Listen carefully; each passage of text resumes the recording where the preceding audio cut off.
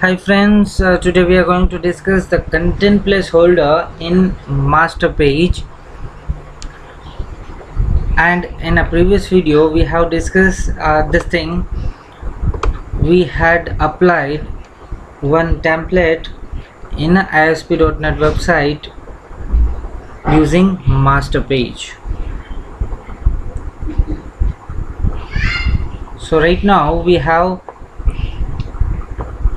this ready template with us right in ASPX extension right?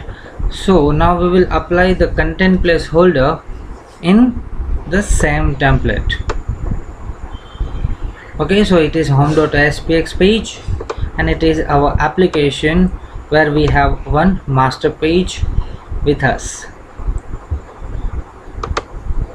So master page consists of two pieces. One master page itself that uh, we can see here master page is there.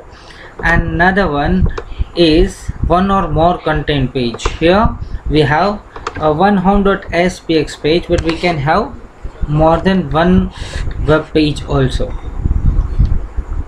So the content placeholder we can found in both the pages in a master page as well as in a web page. So master page content placeholder that you can see here and content placeholder is here. Sorry content placeholder of master page is here. Okay now both have a different functionalities so that we can understood by the theory as well practical so content placeholder of the simple web page decides what content you want to put. Like I want to put a text here. This is my home page right? So that text I want to put in a home.aspx page. Next one is suppose I want to put a, a label yes so you can put it a name to the label like a student name. I want to put the text box.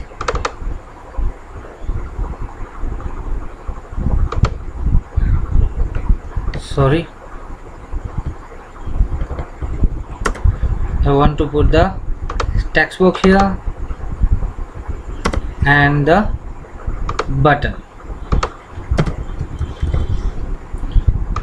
Okay so that content I want to put in the content placeholder of the simple web page.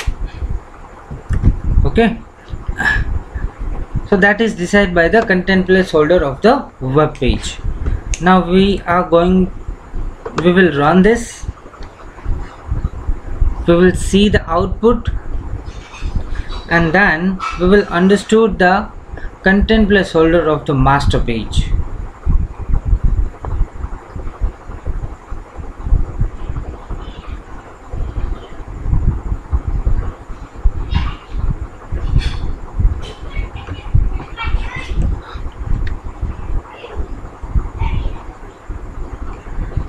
just a second it is running?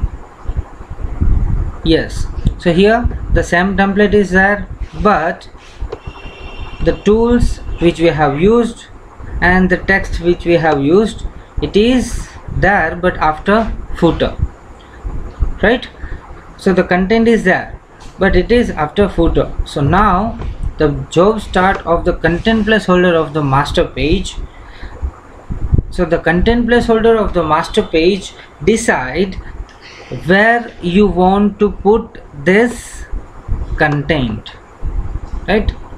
The content placeholder of the master page decide the place of the content where you want to put. So now I want to put this content here right? Instead of this text I want to put my content. So I will copy this text. Control C. Copy this text. Move to the master page. Here control F. Find this text. If you cannot found then you have to see the code yeah see this is the text. So select this text and remove it. Okay? And instead of this text you will put the content placeholder control X cut it and paste here. Control V now save your program move to the browser again and run it. Okay so you will found your content in a proper place. So it is very simple. The content placeholder of the simple web page decide what content you want to put and the content placeholder of the master page decide where to put the content. Thank you so much for watching. If you liked it please subscribe